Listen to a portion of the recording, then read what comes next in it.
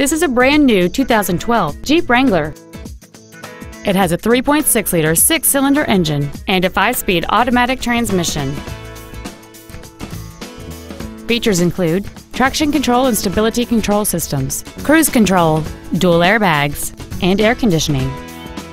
This vehicle is sure to sell fast. Call and arrange your test drive today.